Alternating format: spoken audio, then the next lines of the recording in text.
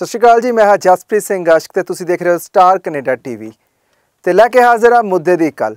ਮੁੱਦੇ ਦੀ ਗੱਲ ਦੇ ਸ਼ੋਅ ਵਿੱਚ ਅਸੀਂ ਹਮੇਸ਼ਾ ਕੁਝ ਅਜਿਹੇ ਮੁੱਦਿਆਂ ਨੂੰ ਲੈ ਕੇ ਆਉਂਦੇ ਆ ਜਿਨ੍ਹਾਂ ਤੇ ਚਰਚਾ ਕਰਨੀ ਬਣਦੀ ਵੀ ਹੈ, ਕਿਉਂਕਿ ਗਹਿਰਾਈ ਤੱਕ ਸਾਡੇ ਆਵਾਮ ਨੂੰ, ਸਾਡੇ ਲੋਕਾਂ ਨੂੰ ਪਤਾ ਲੱਗ ਸਕੇ ਕਿ ਮੁੱਦਾ ਅਸਲੀ ਹੈ ਕੀ ਸੀ। ਤੇ ਹਮੇਸ਼ਾ ਮੇਰੇ ਨਾਲ ਚਰਚਾ ਕਰਦੇ ਨੇ ਨਰਦੇਵ ਸਿੰਘ ਆਕੜੀ ਜੀ, ਆਓ ਸਭ ਤੋਂ ਪਹਿਲਾਂ ਵੈਲਕਮ ਕਰੀਏ। ਸਤਿ ਸ਼੍ਰੀ ਅਕਾਲ ਜੀ। ਸਤਿ ਸ਼੍ਰੀ ਅਕਾਲ ਜੀ। ਹਮੇਸ਼ਾ ਹੀ ਅਸੀਂ ਕੁਝ ਚੁੰਦੇ ਮੁੱਦਿਆਂ ਨੂੰ ਲੈ ਕੇ ਉਹਨਾਂ ਜਿਨ੍ਹਾਂ ਤੇ ਚਰਚਾ ਕਰਦੇ ਆ ਅੱਜ ਦੇ ਮੁੱਦੇ ਦੀ ਗੱਲ ਕਰੀਏ ਤਾਂ ਦਿੱਲੀ ਦੇ ਵਿੱਚ ਇੱਕ ਅਗਨੀਕਾਂਡ ਹੋਇਆ, ਕਾਫੀ ਮੌਤਾਂ ਵੀ ਹੋਈਆਂ, ਉਸ ਨੂੰ ਲੈ ਕੇ ਚਰਚਾ ਕਰਾਂਗੇ। ਚਰਚਾ ਕਰਾਂਗੇ ਚੀਫ ਜਸਟਿਸ ਦੇ ਬਿਆਨ ਨੂੰ ਲੈ ਕੇ ਜੋ ਕਿ ਇਨਕਾਊਂਟਰ ਹੋਇਆ, ਉਸ ਉੱਤੇ ਉਹਨਾਂ ਨੇ ਇੱਕ ਵੱਡਾ ਬਿਆਨ ਦਿੱਤਾ ਉੱਥੇ ਅਕਾਲੀ ਦਲ ਨੂੰ ਲੈ ਕੇ ਚਰਚਾ ਕਰਾਂਗੇ, ਕਿਉਂਕਿ ਅਕਾਲੀ ਦਲ ਤੋਂ ਵਿਰੋਧੀ ਜਿਹੜੇ ਅਕਾਲੀ ਦਲ ਨੇ, ਉਹਨਾਂ ਵੱਲੋਂ ਇੱਕ ਅਹਿਮ ਮੀਟਿੰਗ ਕੀਤੀ ਗਈ ਹੈ। ਉਸ ਤੋਂ ਇਲਾਵਾ ਚਰਚਾ ਕਰਾਂਗੇ 1984 ਕਤਲੇਆਮ ਨੂੰ ਲੈ ਕੇ ਤੇ ਚਰਚਾ ਕਰਾਂਗੇ ਅਸੀਂ ਸੰਸਦ, ਖਾਸ ਕਰਕੇ ਸੰਸਦ ਦੀ ਇਸ ਕਰਕੇ ਚਰਚਾ ਕਰਾਂਗੇ ਸੰਸਦ ਵੀ ਜਿਹੜੀ ਅੱਗ ਤੋਂ ਜਿਹੜੀ ਸੁਰੱਖਿਅਤ ਨਹੀਂ ਹੈਗੀ, ਬਹੁਤ ਸਾਰੀਆਂ ਹੋਰ ਵੀ ਇਹ ਸਰਕਾਰੀ ਬਿਲਡਿੰਗਾਂ ਨੇ, ਕਿਉਂਕਿ ਦਿੱਲੀ ਦੇ ਵਿੱਚ ਅੱਗ ਤੋਂ ਬਾਅਦ ਇਹ ਮਸਲਾ ਉੱਠਿਆ ਸੀ। ਸਭ ਤੋਂ ਪਹਿਲਾਂ ਦਿੱਲੀ ਅਗਲੀ ਕਾਂਡ ਦੀ ਹੋਈ ਗੱਲ ਕਰ ਲੈਂਦੇ ਆ ਆਕੜੀ ਸਾਹਿਬ ਦਿੱਲੀ ਅਗਨੀਕਾਂਡ ਹੋਇਆ ਜਾਨੀ ਕਿ ਇੱਕ ਬਿਲਡਿੰਗ ਨੂੰ ਅੱਗ ਲੱਗੀ ਹੈ। ਬੜੀਆਂ ਤੰਗ ਗਲੀਆਂ ਸਨ। ਉੱਥੇ ਤੰਗ ਗਲੀਆਂ ਕਰਕੇ ਅੱਗ ਜਿਹੜੀ ਫੈਲੀ। 43 ਦੇ ਕਰੀਬ ਲੋਕਾਂ ਦੀ ਮੌਤ ਹੋਈ। ਬਹੁਤ ਸਾਰੇ ਜ਼ਖਮੀ ਵੀ ਹੋਇਆ ਫਾਇਰ ਬ੍ਰਿਗੇਡ ਦੇ ਅਫਸਰ ਵੀ ਕਈ ਜ਼ਖਮੀ ਹੋਇਆ ਸੌ ਤੋਂ ਵਧੇਰੀਆਂ ਗੱਡੀਆਂ ਨੇ ਅੱਗ ਨੂੰ ਕਾਬੂ ਪਾਉਣ ਦੇ ਵਿੱਚ ਟਾਈਮ ਲੱਤਾ ਹੈ, ਕਿਉਂਕਿ ਤੰਗ ਗਲੀਆਂ ਸਨ। ਮੇਨ ਬਿਲਡਿੰਗ ਤੱਕ ਪਹੁੰਚਣਾ ਬੜਾ ਮੁਸ਼ਕਿਲ ਸੀਗਾ। ਇੱਥੋਂ ਤੱਕ ਨਹੀਂ, ਇਹ ਐਡੀ ਘਟਨਾ ਤੋਂ ਬਾਅਦ ਇੱਕ ਸਰਵੇ ਵੀ ਆਇਆ ਉੱਥੇ ਕਿ ਦਿੱਲੀ ਦੇ ਵਿੱਚ ਜਿਹੜੀਆਂ ਬਿਲਡਿੰਗਾਂ ਅਸੁਰੱਖਿਅਤ ਨੇ, ਜਿੱਥੇ ਅੱਗ ਈਜ਼ੀਲੀ ਲੱਗ ਸਕਦੀ ਆ ਈਜ਼ੀਲੀ ਡੈਮੇਜ ਹੋ ਸਕਦੀ ਉਹਨਾਂ ਵਿੱਚੋਂ ਸੰਸਦ ਭਵਨ ਵੀ ਇੱਕ ਹੈ। ਜੀ। ਇੱਕ ਵੱਡਾ ਜਿਹੜਾ ਚਿੰਤਾ ਦਾ ਵਿਸ਼ਾ ਹੈ ਬਿਲਕੁਲ ਜਸਪ੍ਰੀਤ ਜੀ ਜਿਹੜਾ ਅਨਾਜ ਮੰਡੀ ਦੇ ਲਾਗੇ ਚਾਗੇ ਜਿਹੜਾ ਅਗਨੀਕਾਂਡ ਵਾਪਰਿਆ। ਲੰਘੇ ਦਿਨੇ ਉਹਦੇ ਵਿੱਚ 50 ਤੋਂ ਉੱਤੇ ਜਿਹੜੀਆਂ ਮੌਤਾਂ ਹੋ ਚੁੱਕੀਆਂ ਬੜਾ ਮ- ਦਿਲ ਕੰਬਾਊ ਘਟਨਾ ਇਹਨੂੰ ਕਿਹਾ ਜਾ ਸਕਦਾ ਪਰ ਵੱਡੀ ਗੱਲ ਇਹ ਹੈ ਕਿ ਦਿੱਲੀ ਵਰਗੇ ਵੱਡੇ ਮਹਾਨਗਰ ਦੇ ਵਿੱਚ ਐਸੀਆਂ ਫੈਕਟਰੀਆਂ ਦਾ ਰਹਿائشੀ ਖੇਤਰਾਂ 'ਚ ਚੱਲਣਾ ਉਹ ਵੀ ਤਾਂ ਕਿਸੇ ਨਾ ਕਿਤੇ ਕੁਐਸਚਨ ਖੜੇ ਕਰ ਰਹਾ ਹੈ। ਤੇ ਫਿਰ ਰਹਿਸ਼ੀ ਕਲੋਨੀਆਂ ਦੇ ਵਿੱਚ ਫੈਕਟਰੀ ਚਲਾਉਣੀ ਉਹ ਵੀ ਬੈਗ ਬਣਾਉਣ ਵਾਲੀ ਇਹ ਕੋਈ ਫੈਕਟਰੀ ਸੀ ਕਿਉਂਕਿ ਸਾਰਾ ਜਲਨਸ਼ੀਲ ਪਦਾਰਥ ਸੀ ਉਹਦੇ 'ਚ। ਔਰ ਜਿੰਨੇ ਜਿਹੜੇ ਬੰਦੇ ਮਾਰੇ ਗਏ ਉਥੇ 50 ਦੇ ਉੱਤੇ ਮੌਤਾਂ ਹੋ ਚੁੱਕੀਆਂ। ਕਈਆਂ ਨੂੰ ਬਚਾ ਲਿਆ ਗਿਆ ਜਿਹੜੀ ਉੱਥੋਂ ਦੀ ਫਾਇਰ ਬ੍ਰਿਗੇਡ ਦੀ ਟੀਮ ਜਾਂ ਉੱਥੋਂ ਦੇ ਲੋਕਾਂ ਨੇ। ਤਾਂ ਦੇਖਣ ਤੋਂ ਭਾਵ ਇਹ ਹੈ ਕਿ ਜੇ ਸਵੇਰੇ 5 ਵਜੇ ਅੱਗ ਲੱਗਦੀ ਹੈ 5 ਵਜੇ ਕੇ 22 ਮਿੰਟ ਦੇ ਉੱਤੇ ਇੰਨੀਆਂ ਮੌਤਾਂ ਹੋ ਜਾਣੀਆਂ ਇਹਦਾ ਮਤਲਬ ਰਾਤ ਨੂੰ 100 200 ਬੰਦਾ ਦਾ ਕੰਮ ਕਰਦਾ ਹੀ ਹੋਊਗਾ। ਬਿਲਕੁਲ। ਤੇ ਜੇ ਐਡਾ ਵੱਡਾ ਕੰਮ ਚੱਲ ਰਿਹਾ ਸੀ ਉੱਥੇ ਵੈਸੇ ਤਾਂ ਜਿਹੜਾ ਸੁਰੱਖਿਆ ਐਕਟ ਦੇ ਅਧੀਨ। ਜਾਂ ਫਾਇਰ ਬ੍ਰਿਗੇਡ ਦੇ ਮਾਪਦੰਡਾਂ ਦੇ ਅਧੀਨ ਕੋਈ ਵੀ ਫੈਕਟਰੀ ਜਿਹੜੀ ਹੈ ਉਹਦੇ ਕੋਲ ਜਦੋਂ ਤੱਕ ਪੂਰੇ ਇਕਵਿਪਮੈਂਟ ਜਿਹੜੇ ਅੱਗ ਬੁਝਾਊ ਯੰਤਰ ਜਾਂ ਬਚਾਵ ਲਈ ਉਹਨਾਂ ਦੇ ਪ੍ਰਬੰਧ ਪੂਰੇ ਮੁਕੰਮਲ ਨਾ ਹੋਣ ਤਾਂ ਇਹ ਫੈਕਟਰੀਆਂ ਨੂੰ ਲਾਇਸੈਂਸ ਹੀ ਜਾਰੀ ਨਹੀਂ ਹੁੰਦਾ। ਪਰ ਇਹ ਫੈਕਟਰੀ ਚੱਲ ਕਿਦਾਂ ਰਹੀ ਸੀ ਇਹ ਤੇ ਵੀ ਤਾਂ ਕਿੰਤੂ ਪਰੰਤੂ ਬਣਦਾ। ਫਿਰ ਦੂਜੀ ਗੱਲ ਉਸ ਥਾਂ ਦੇ ਉੱਤੇ ਚੱਲ ਰਹੀ ਸੀ ਜਿੱਥੇ ਵੱਡੀ ਗੱਡੀ ਜਾਂ ਟਰੱਕ ਟਾਈਪ ਜਿਹੜੀ ਗੱਡੀ ਉਹ ਹੁਣ ਜਿਵੇਂ ਅੱਗ ਲੱਗੀ ਉੱਥੇ ਫਾਇਰ ਬ੍ਰਿਗੇਡ ਦੀਆਂ ਗੱਡੀਆਂ ਨੂੰ ਜਾਣ 'ਚ ਵੀ ਬੜੀ ਦਿੱਕਤ ਆਈ ਹਾਂ ਕਿਉਂਕਿ ਤੰਗ ਗਲੀਆਂ ਕਰਕੇ ਇੱਕ ਗਲੀ ਇੱਕ ਗੱਡੀ ਜਾ ਸਕਦੀ ਸਾਹਮਣੇ ਕੋਈ ਆ ਜਾਵੇ ਤਾਂ ਬੜਾ ਔਖਾ ਹੁੰਦਾ। ਗੱਲ ਉਹੀ ਹੈ ਨਾ ਜੀ ਤੰਗ ਗਲੀਆਂ ਦੇ ਵਿੱਚੋਂ ਫਿਰ ਜਦੋਂ ਅਗਜ਼ਨੀ ਹੋ ਜੇ ਅਗਜ਼ਨੀ ਦਾ ਕਿਹੜਾ ਕੋਈ ਰੂਪ ਹੁੰਦਾ? ਨਾ ਉਹਦਾ ਮਤਲਬ ਬਹਾ ਹੁੰਦਾ ਵੀ ਕਿੰਨਾ ਘੱਟ ਰਹੂ ਕਿੰਨਾ ਵੱਧ ਰਹੂ। ਹੁਣ ਦੇਖਣ ਵਾਲੀ ਗੱਲ ਹੈ ਕਿ ਉਸ ਅਗਨੀ ਅਗਜਨੀ 'ਚ ਫਸੇ ਲੋਕਾਂ ਵੱਲੋਂ ਆਪਣੇ ਪਰਿਵਾਰਕ ਬੰਦਿਆਂ ਨੂੰ ਫੋਨ ਕੀਤੇ ਗਏ ਆਖਰੀ ਸਮੇਂ ਦੇ ਉੱਤੇ। ਇੱਕ ਵਿਅਕਤੀ ਵੱਲੋਂ ਆਪਣੇ ਘਰਦਿਆਂ ਨੂੰ ਕਿਹਾ ਗਿਆ ਕਿ ਮੈਂ ਸ਼ਾਇਦ ਹੁਣ ਫਸ ਗਿਆ ਮੇਰਾ ਬਚਣਾ ਔਖਾ ਹੈ ਤੇ ਉਹਦੀ ਡੈੱਡ ਬੋਡੀ ਆਈ ਹੈ। ਤੇ ਇੱਕ ਪਿਓ ਨੇ ਆਪਣੇ ਬੱਚਿਆਂ ਨੂੰ ਕਿਹਾ ਕਿ ਅਸੀਂ ਵੀ ਇਸ ਅਗਜਨੀ 'ਚ ਫਸ ਗਏ ਆ ਵੀ ਸਾਡਾ ਜਿਉਂਦੇ ਨਿਕਲਣਾ ਇਥੋਂ ਮੁਸ਼ਕਲ ਹੈ ਉਹ ਵੀ ਮਾਰਿਆ ਗਿਆ। ਲੇਕਿਨ ਵੱਡੀ ਗੱਲ ਇਹ ਹੈ ਕਿ ਅੱਗ ਬੁਝਾਊ ਯੰਤਰ ਦੇ ਨਾਲ ਜਿਹੜੀ ਹੈ ਫਾਇਰ ਬ੍ਰਿਗੇਡ ਟੀਮ ਦੇ ਇੱਕ ਅਧਿਕਾਰੀ ਦੀ ਸ਼ਲਾਘਾ ਕਰਨੀ ਬਣਦੀ ਹੈ ਜਿਹਨੇ 12 13 ਜਾਨਾਂ ਬਚਾ ਲੀਆਂ ਉਹ ਆਪ ਇੰਜਰਡ ਹੋ ਗਿਆ ਉਹਦੀਆਂ ਦੋਨੇ ਲੱਤਾਂ ਅੱਗ ਨਾਲ ਸੜ ਗਈਆਂ ਪਰ ਉਹਦੀ ਦਲੇਰੀ ਨੂੰ ਸਲੂਟ ਕਰਨਾ ਬਣਦਾ ਹੈ। ਬਿਲਕੁਲ। ਚੰਗਾ ਹੁੰਦਾ ਕਿ ਲੋਕ ਵੀ ਇਹਦੇ ਵਿੱਚ ਭਾਗੀਦਾਰ ਬਣਦੇ ਲੋਕ ਵੀ ਅੱਗ ਬੁਝਾਊ ਜੰਤਰ ਵਾਲੇ ਲੋਕਾਂ ਦੀ ਮਦਦ ਕਰਦੇ ਸਹਿਯੋਗੀ ਬਣਦੇ। ਬਟ ਅਫਸੋਸ ਨਾਲ ਕਹਿਣਾ ਪੈਂਦਾ ਕਿ ਦਿੱਲੀ ਵਰਗੇ ਮਹਾਨਗਰ ਦੇ ਵਿੱਚ ਇਹ ਵੱਡਾ ਅਗਨੀਕਾਂਡ ਹੋਣਾ ਵੀ ਦੇਸ਼ ਦੇ ਪ੍ਰਧਾਨ ਮੰਤਰੀ ਦੇ ਵੀ ਕਿੰਤੂ ਹੋਣ ਪਰ ਕਿੰਤੂ ਤਾਂ ਆਕੜੀ ਸਾਹਿਬ ਹੈਗਾ ਹੀ ਆ ਜਿਹੜੀ ਮੈਂ ਇੱਕ ਕੁਐਸਚਨ ਹੋਰ ਨਾਲ ਚੱਕਿਆ ਸੀਗਾ ਕਿਉਂਕਿ ਜੇ ਗੱਲ ਕਰੇ ਸੰਸਦ ਭਵਨ ਤੇ ਉਹ ਵੀ ਸੁਰੱਖਿਅਤ ਨਹੀਂ ਹੈਗਾ। ਬਿਲਕੁਲ ਜੀ ਇਸ ਕੱਲਾ ਸੰਸਦ ਭਵਨ ਨਹੀਂ 100 ਤੋਂ ਵਧੇਰੀਆਂ ਬਿਲਡਿੰਗਾਂ ਸੀ ਕਿੰਨੀਆਂ ਬਿਲਡਿੰਗਾਂ ਦੀ ਹੁਣ ਲੇਖਾ ਜੋਖੀ ਜਦੋਂ ਐਡੀ ਵੱਡੀ ਘਟਨਾ ਵਾਪਰਦੀ ਹੈ। ਉੱਥੇ ਦਿੱਲੀ ਦੇ ਵਿੱਚ ਹੀ ਜਿਹੜੇ ਆਪਣੇ ਆਰਮੀ ਦੇ ਹੈੱਡਕੁਆਟਰ ਹੈ। ਉਹ- ਵੀ ਸੁਰੱਖਿਅਤ ਨਹੀਂ ਗਏ। ਇਹਨਾਂ ਸਿਸਟਮਾਂ ਦੇ ਕਿੰਨੇ ਇੰਸਟੀਚਿਊਸ਼ਨ ਹੈ ਵਿਦ- ਵਿਦਿਅਕ ਇੰਸਟੀਚਿਊਸ਼ਨ ਉਹ ਵੀ ਸੁਰੱਖਿਅਤ ਨਹੀਂ ਗਏ ਫਾਇਰ ਬ੍ਰਿਗੇਡ ਦੇ ਮਾਪਦੰਡਾਂ ਮੁਤਾਬਕ। ਤੋਂ ਸੋਚਣ ਵਾਲੀ ਗੱਲ ਹੈ ਔਰ ਘੱਟੋ ਘੱਟ ਦਿੱਲੀ ਵਰਗੇ ਮਹਾਨਗਰ ਜਿਹੜੀ ਰਾਜਧਾਨੀ ਹੋਵੇ ਮੁਲਕ ਦੀ ਉੱਥੇ ਇਦਾਂ ਦਾ ਵੱਡਾ ਵਰਤਾਰਾ ਵਾਪਰ ਜਾਣਾ ਹੁੰਦਾ ਤਾਂ ਕੁਦਰਤੀ ਤੌਰ ਤੇ ਆ ਅਚਾਨਕ ਹੁੰਦਾ ਹੈ ਬਟ ਬਹੁਤ ਵੱਡੇ ਕੁਐਸਚਨ ਖੜੇ ਕਰ ਦਿੰਦਾ ਭਾਰਤ ਦੀ ਰਾਜਨੀਤੀ ਦੇ ਵੱਡੇ ਕੁਐਸਚਨ ਖੜੇ ਹੋ ਗਏ। ਜੇ ਦਿੱਲੀ 'ਚ ਵੱਡਾ ਇਹ ਵਰਤਾਰਾ ਵਾਪਰ ਸਕਦਾ। ਹੈ ਤੇ ਬਾਕੀ ਮੁਲਕ ਦੇ ਖੇਤਰਾਂ ਦਾ ਕੀ ਬਣੂਗਾ? ਉੱਥੇ ਮਾਪਦੰਡ ਤਾਂ ਕੋਈ ਅਪਣਾਉਂਦਾ ਹੀ ਨਹੀਂ ਹੋਣਾ। ਜੇ ਦਿੱਲੀ ਵਰਗੇ ਹੁਣ ਦਿੱਲੀ ਦੇ ਮੁੱਖ ਮੰਤਰੀ ਦੀ ਵੀ ਜ਼ਿੰਮੇਵਾਰੀ ਬਣਦੀ ਹੈ। ਅਰਵਿੰਦ ਕੇਜਰੀਵਾਲ ਦੀ ਵੀ ਜ਼ਿੰਮੇਵਾਰੀ ਬਣੂਗੀ ਇਹ ਵੱਡਾ ਘਟਨਾ ਹੋਈ ਹੈ। ਬੇਸ਼ੱਕ ਮਰਨ ਵਾਲੇ ਲੋਕਾਂ ਨੂੰ ਰਿਲੀਫ ਫੰਡ ਚੋਂ ਪੈਸੇ ਦੇ ਦੇਣ ਇੰਜਰਡ ਨੂੰ ਦਵਾਈ ਬੁੱਟੀ ਕਰਾ ਦੇਣ ਪਰ ਜਿਹੜੇ ਚਲੇ ਗਏ ਉਹ ਤਾਂ ਚਲੇ ਗਏ ਵਾਪਸ ਨਹੀਂ ਆ ਸਕਦੇ। ਜਿੰਨਾ ਦਾ ਉਹ ਘੱਟ ਹੈ ਪੈਸੇ ਨਾਲ ਕਈ ਵਾਰ ਪੂਰਾ ਨਹੀਂ ਹਾਂ। ਪੈਸੇ ਦੇ ਤਰਾਜੂ 'ਚ ਨਹੀਂ ਤੋਲਣਾ ਤੋਲਣਾ ਚਾਹੀਦਾ। ਬਿਲਕੁਲ ਗੱਲ ਸਹੀ ਹੈ ਕਿਉਂਕਿ ਇਸ ਤਰੀਕੇ ਨਾਲ ਜਿਹੜਾ ਸਿਸਟਮ ਬਿਲਕੁਲ ਖਤਮ ਹੋ ਜਾਣਾ ਸੀ। ਕਈ ਵਾਰ ਇਨਸਾਨੀ ਜ਼ਿੰਦਗੀਆਂ ਨੂੰ ਕੋਈ ਸਮਝਦੇ ਹੀ ਨਹੀਂ ਹੈਗੇ।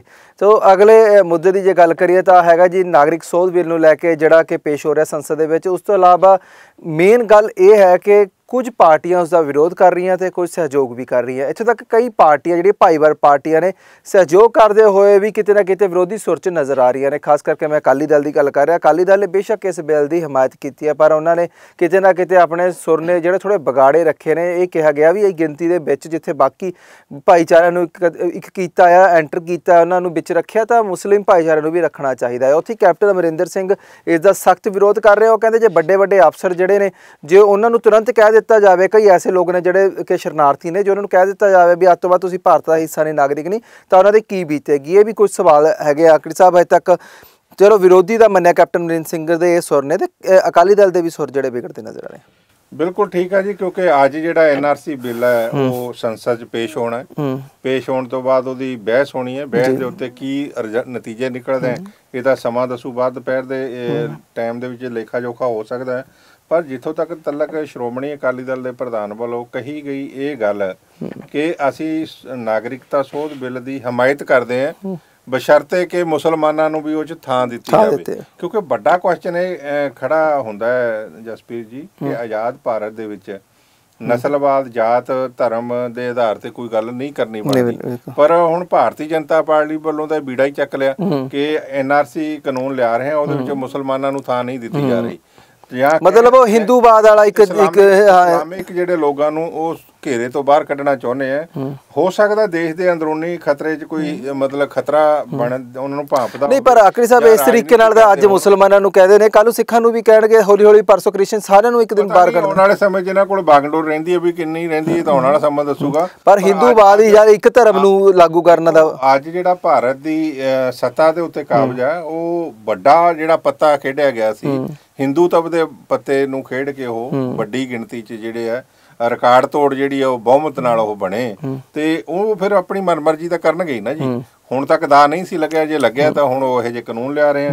ਤੇ ਦੇਖਣ ਵਾਲੀ ਗੱਲ ਹੈ ਕਿ ਅਮਿਤ ਸ਼ਾਹ ਤੇ ਨਰਿੰਦਰ ਮੋਦੀ ਵੱਲੋਂ ਇਸ ਐਨਆਰਸੀ ਬਿੱਲ ਪਾਸ ਕਰਾਉਣ ਦੇ ਲਈ ਜਿੱਥੇ ਆਪਾਂ ਸ਼੍ਰੋਮਣੀ ਅਕਾਲੀ ਦਲ ਦੀ ਹਮਾਇਤ ਤੇ ਉਹਦੀ ਵਿਰੋਧਤਾ ਦੀ ਗੱਲ ਕਰ ਰਹੇ ਹਾਂ ਉਹਦੇ ਨਾਲ ਹੀ ਸੂਬੇ ਦੇ ਮੁੱਖ ਮੰਤਰੀ ਕੈਪਟਨ ਅਮਰਿੰਦਰ ਸਿੰਘ ਨੇ ਵੀ ਵੱਡਾ ਬਿਆਨ ਦਿੱਤਾ ਹੈ। ਕਿ ਬੇਸ਼ੱਕ ਭਾਰਤ ਦੀ ਸੰਸਦ ਜਾਂ ਭਾਰਤੀ ਜਨਤਾ ਪਾਰਟੀ ਲੋਕ ਸਭਾ 'ਚ ਇਸ ਬਿੱਲ ਨੂੰ ਪਾਸ ਕਰ ਲੇ ਲੇਕਿਨ ਪੰਜਾਬ 'ਚ 2/3 ਮੈਜੋਰਟੀ 'ਚ ਜਿਹੜੀ ਕਾਂਗਰਸ ਦੀ ਸਰਕਾਰ ਆ ਅਸੀਂ ਇਹਨੂੰ ਲਾਗੂ ਨਹੀਂ ਕਰਾਂਗੇ। ਜਿਵੇਂ ਪਹਿਲਾਂ ਪੱਛਮੀ ਬੰਗਾਲ ਦੀ ਮੁੱਖ ਮੰਤਰੀ ਮਮਤਾ ਬੈਨਰਜੀ ਨੇ ਵੀ ਵੱਡਾ ਬਿਆਨ ਦਿੱਤਾ ਸੀ ਕਿ ਪੱਛਮੀ ਬੰਗਾਲ 'ਚ ਇਹਨੂੰ ਲਾਗੂ ਨਹੀਂ ਕਰਾਂਗੇ। ਹੁਣ ਦੂਜੇ ਸੂਬੇ ਪੰਜਾਬ ਨੇ ਇਹ ਗੱਲ ਕਹਿਤੀ ਤਾਂ ਗ੍ਰਹਿਣ ਤਾਂ ਲੱਗਦਾ ਜਾਂਦਾ ਹੈ ਇਸ ਬਿੱਲ ਦੇ ਉੱਤੇ ਤੇ ਆਉਣ ਵਾਲੇ ਸਮੇਂ 'ਚ ਦੇਖਿਆ ਜਾਊਗਾ ਕਿ ਇਹਦੇ ਨਤੀਜੇ ਕੀ ਨਿਕਲਦੇ ਆ। ਨਤੀਜੇ ਕਿਤੇ ਨਾ ਕਿਤੇ- ਹੱਕ 'ਚ ਜਾਂਦਾ ਹੈ ਜਾਂ ਭਾਰਤੀ ਜਨਤਾ ਪਾਰਟੀ ਨੂੰ ਡੈਂਟ ਪਾਉਂਦਾ ਹੈ। ਪਰ ਮੈਨੂੰ ਲੱਗਦਾ ਇਸ ਮੁਤਾਬਿਕ ਹੁਣ ਦੀ ਪੋਜੀਸ਼ਨ ਤਾਂ ਇਹੀ ਦੱਸ ਰਹੀ ਹੈ ਕਿ ਭਾਰਤੀ ਜਨਤਾ ਪਾਰਟੀ ਦੇ ਜ਼ਰੂਰ ਹੱਕ 'ਚ ਜਾ ਰਿਹਾ ਕਿਉਂਕਿ ਜੋ ਉਹਨਾਂ ਦਾ ਮਨਸ਼ਾ ਹੈ ਉਸ ਦੇ ਅਕੋਰਡਿੰਗ ਉਹ ਬਿੱਲ ਲੈ ਕੇ ਆ ਰਹੇ ਨੇ ਹਜੇ ਤੱਕ ਦਾ ਪਤਾ ਨਹੀਂ ਵੀ ਅੱਗੇ ਜੇ ਕੀ ਜਸਪ੍ਰੀਤ ਜੀ ਤੁਹਾਡੀ ਗੱਲ ਨਾਲ ਮੈਂ ਸਹਿਮਤ ਹੋ ਜਾ ਵੀ ਭਾਰਤੀ ਜਨਤਾ ਪਾਰਟੀ ਦੇ ਹੱਕ 'ਚ ਜਾ ਰਿਹਾ ਹੈ ਤਾਂ ਭਾਰਤ ਦੇ ਗ੍ਰਹਿ ਮੰਤਰੀ ਅਮਿਤ ਸ਼ਾਹ ਨੂੰ ਵਿਪ ਜਾਰੀ ਕਰਨ ਦੀ ਲੋੜ ਨਹੀਂ ਸੀ ਪੈਣੀ। ਉਹਨਾਂ ਨੇ ਵਿਪ ਜਾਰੀ ਕੀਤਾ ਆਪਣੇ ਸੰਸਦ ਮੈਂਬਰਾਂ ਨੂੰ। ਕਿ ਅੱਜ ਉੱਥੇ ਸ਼ਾਮਲ ਹੋਣ ਤੇ ਹਾਜ਼ਰ ਰਹਿਣ। ਵਿਪ ਉਦੋਂ ਜਾਰੀ ਕੀਤਾ ਜਾਂਦਾ ਹੁੰਦਾ ਜਦੋਂ ਕਿਤੇ ਮਾੜੀ ਮੋਟੀ ਡਗਮਗਾਈ ਪੋਜੀਸ਼ਨ ਹੋਵੇ। ਅਦਰਵਾਈਜ਼ ਵਿਪ ਕਦੇ ਛੇਤੀ ਛੇਤੀ ਨਹੀਂ ਜਾਰੀ ਪਾਰਟੀ ਕਰਦੀ। ਕਿਉਂਕਿ ਮੁੱਦਾ ਵੱਡਾ ਹੈ। ਉਹਦੇ ਉੱਤੇ ਅਮਿਤ ਸ਼ਾਹ ਨੇ ਵੀ ਦੇਖਿਆ ਉਹ ਜਾਂ ਨਰਿੰਦਰ ਮੋਦੀ ਪ੍ਰਧਾਨ ਮੰਤਰੀ ਨੇ ਵੀ ਇਹ ਗੱਲ ਬਾਚੀ ਹੋਊਗੀ ਕਿਤੇ ਇਹਦੀ ਵਿਰੋਧਤਾ ਨਾ ਹੋ ਜਾਏ ਜਾਂ ਸਾਡੇ ਮੈਂਬਰ ਹੀ ਨਾ ਗੈਰ ਹਾਜ਼ਰ ਰਹਿ ਜਾਣ ਕਿਉਂਕਿ ਕਾਂਗਰਸ ਤਾਂ ਬਾਈਕਾਟ ਕਰੇਗੀ। ਕਾਂਗਰਸ ਨੇ ਪਹਿਲਾਂ ਹੀ ਕਿਹਾ ਹੈ ਕਾਂਗਰਸ ਤੇ ਬਾਕੀ ਉਹਦੇ ਅਲਾਈਅੰਸ ਜਿਹੜੇ ਹੈ ਜਿਨ੍ਹਾਂ ਨੂੰ ਮਹਾਗਠਬੰਧਨ ਜਿਵੇਂ ਆਪਾਂ ਉਹਦੀ ਗੱਲ ਕਰਦੇ ਆ ਮਹਾਰਾਸ਼ਟਰ ਦੀ ਉੱਥੇ ਬਣਿਆ ਮਹਾ ਗਠਬੰਧਨ। ਤੇ ਉਹ ਸਾਰੇ ਇਕੱਠੇ ਆ ਇਸ ਮੁੱਦੇ ਦੇ ਉੱਤੇ। ਵੀ ਉਹਨਾਂ ਦਾ ਮੋਟਿਵ ਸਿਰਫ ਇਹ ਹੈ ਕਿ ਭਾਰਤੀ ਜਨਤਾ ਪਾਰਟੀ ਵੱਲੋਂ ਲਿਆਂਦੇ ਹਰ ਬਿੱਲ ਦੀ ਵਿਰੋਧਤਾ ਕਰਨੀ ਹੈ। ਉਹ ਭਾਵੇਂ ਚੰਗਾ ਹੋਵੇ ਭਾਵੇਂ ਮਾੜਾ ਹੋਵੇ ਉਹਨਾਂ ਨੇ ਰਾਜਨੀਤੀ ਕਰਨੀ ਹੈ। ਤੇ ਉਸ ਰਾਜਨੀਤੀ ਦੀ ਪਗਡੰਡੀ ਦੇ ਤੇ ਹੀ ਅਮਿਤ ਸ਼ਾਹ ਵੱਲੋਂ ਵਿਪ ਜਾਰੀ ਕਰ ਦਿੱਤਾ ਗਿਆ ਆਪਣੇ ਸੰਸਦ ਮੈਂਬਰਾਂ ਨੂੰ ਵੀ ਉਹ ਉੱਥੇ ਹਾਜ਼ਰ ਰਹਿਣ। ਇਹ ਫਿਰ ਅੱਜ ਬਾਅਦ ਪੈਰ ਬਿਲਕੁਲ ਅਕਰੀ ਸਾਹਿਬ ਆਪਾਂ ਹੁਣ ਗੱਲ ਕਰ ਲਈਏ ਹైదరాబాద్ ਇਨਕਾਊਂਟਰ ਨੂੰ ਲੈ ਕੇ ਕਿਉਂਕਿ ਹైదరాబాద్ ਇਨਕਾਊਂਟਰ ਨੂੰ ਲੈ ਕੇ ਵੱਡੇ ਸਵਾਲ ਜਿਹੜੇ ਖੜੇ ਹੋਏ ਨੇ, ਕੁਝ ਇਸ ਨੂੰ ਚੰਗਾ ਦੱਸਦੇ ਸੀ ਕਿ ਕੁਝ ਇਸ ਨੂੰ ਮਾੜਾ ਤੇ ਕੁਝ ਇਹ ਵੀ ਕਹਿ ਰਹੇ ਸੀ ਕਾਨੂੰਨ ਹੱਥ 'ਚ ਨਹੀਂ ਲੈਣਾ ਚਾਹੀਦਾ ਪੁਲਿਸ ਨੂੰ। ਸੋ, ਅੱਜ ਸਾਡੇ ਜਿਹੜੇ ਆਪਣਾ ਮਹਾ ਮਹਿਮ ਨੇ ਜਾਣੀ ਕਿ ਜਿਹੜੇ ਚੀਫ ਜਸਟਿਸ ਨੇ ਉਹਨਾਂ ਵੱਲੋਂ ਵੀ ਇੱਕ ਵੱਡੀ ਗੱਲ ਕਹੀ ਗਈ ਹੈ, ਇੱਕ ਵੱਡਾ ਬਿਆਨ ਦਿੱਤਾ ਗਿਆ ਆ ਕਿ ਜਿਹੜਾ ਭਰੋਸਾ ਰੱਖਣਾ ਚਾਹੀਦਾ ਨਿਆਂ ਪ੍ਰਣਾਲੀ ਦੇ ਉੱਤੇ। ਤੇ ਆਪ ਜਿਹੜਾ ਕਾਨੂੰਨ ਹੱਥ 'ਚ ਨਹੀਂ ਲੈਣਾ ਚਾਹੀਦਾ, ਪਰ ਕਿਤੇ ਨਾ ਕਿਤੇ ਵੀ ਸਵਾਲ ਖੜਾ ਹੁੰਦਾ ਆ ਜੀ ਵੀ ਨਿਆਂ ਪ੍ਰਣਾਲੀ ਉੱਤੇ ਭਰੋਸਾ ਬਿਲਕੁਲ ਰੱਖਣਾ ਜਲਦੀ ਆ। ਤੇ ਇੱਕ ਉਹਨਾਂ ਨੇ ਹੋਰ ਇੱਕ ਵੱਡਾ ਬਿਆਨ ਇਹ ਦਿੱਤਾ ਆ ਕਿ ਬਹੁਤ ਜਲਦੀ ਅਸੀਂ ਕੋਈ ਫੈਸਲਾ ਨਹੀਂ ਲੈ ਸਕਦੇ, ਕਿਉਂਕਿ ਗੱਲ ਇਹ ਉੱਠ ਕੇ ਆ ਰਹੀ ਸੀ ਨਾ ਵੀ ਨਿਆਂ ਪ੍ਰਣਾਲੀ ਜਿਹੜੀ ਢਿੱਲੀ ਹੈ ਇਸ ਕਰਕੇ ਜਿਹੜਾ ਪੁਲਿਸ ਨੂੰ ਇਹ ਜਿਹੇ ਕਦਮ ਚੱਕਣੇ ਪੈ ਰਹੇ ਨੇ। ਤਾਂ ਉਹਨਾਂ ਨੇ ਇਹ ਵੀ ਗੱਲ ਕਹੀ ਆ ਵੀ ਕੁਇਕ ਅਸੀਂ ਇਸ ਉੱਤੇ ਫੈਸਲੇ ਨਹੀਂ ਲੈ ਸਕਦੇ, ਦੇਰੀ ਤਾਂ ਹੋਈ ਵਿੱਚ ਹੋਊਗੀ, ਉਹ ਹੋਊਗੀ ਜਿਹੜੇ ਕੰਮ ਨੂੰ ਆ, ਤੇ ਫਿਰ ਕਿਵੇਂ ਉਮੀਦ ਕੀਤੀ ਜਾ ਸਕਦੀ ਆ? ਬਿਲਕੁਲ ਬਿਲਕੁਲ ਠੀਕ ਹੈ ਜਸਪ੍ਰੀਤ ਜੀ, ਭਾਰਤ ਦੇ ਸੁਪਰੀਮ ਕੋਰਟ ਦੇ ਜਿਹੜੇ ਚੀਫ ਜਸਟਿਸ ਸ਼ਰਦ ਬੋਬੜੇ ਵੱਲੋਂ ਜੋ ਬਿਆਨ ਦਿੱਤਾ ਗਿਆ।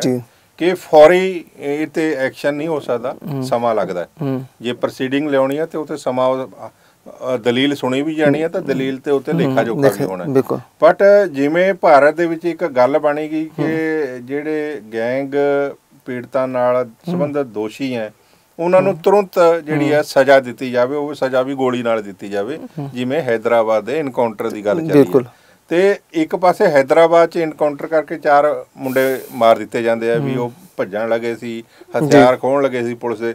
ਦੂਜੇ ਪਾਸੇ ਯੂਪੀ ਦੇ ਵਿੱਚ ਅਨੌਬ ਘਟਨਾ ਇਹ ਜੀ ਵਾਪਰੀ ਉਸੇ ਦਿਨ ਕਿ ਉਥੋਂ ਜਿਹੜੀ ਗੈਂਗ ਪੀੜਤਾਂ ਵੱਲੋਂ ਸ਼ਿਕਾਰ ਲੜਕੀ ਸੀ ਉਹਨੂੰ ਹੀ ਜੇਲ੍ਹ ਤੋਂ ਰਿਹਾ ਹੋ ਕੇ ਜ਼ਮਾਨਤ ਤੇ ਬੇਲ ਤੇ ਆਏ ਬੰਦਿਆਂ ਨੇ ਸ਼ਰੇਆਮ ਦਿਨ ਦਿਹਾੜੇ ਸਾੜ ਦਿੱਤਾ ਗਿਆ। ਤੇ ਬਾਲਰ ਕਿਉਂ ਨਹੀਂ ਲੋਕ ਕਿੰਤੂ ਪਰੰਤੂ ਕਰਨਗੇ? ਭਾਰਤ ਦੇ ਚੀਫ ਜਸਟਿਸ ਦਾ ਇਹ ਤਰਕ ਦੇਣਾ ਵਾਜਬ ਹੈ ਕਿਉਂਕਿ ਕਾਨੂੰਨੀ ਨਜ਼ਰੀਏ ਮੁਤਾਬਕ ਕਿਸੇ ਵੀ ਗੱਲ ਨੂੰ ਇਨਵੈਸਟੀਗੇਟ ਕਰਨ ਲਈ ਜਾਂ ਉਹਦੇ ਪੱਖ ਸੁਣਨ ਲਈ ਜਾਂ ਉਹਦੀ ਵਿਰੋਧਤਾ ਸੁਣਨ ਲਈ ਉਹਨਾਂ ਨੂੰ ਸਮਾਂ ਤਾਂ ਲੱਗਦਾ ਹੈ।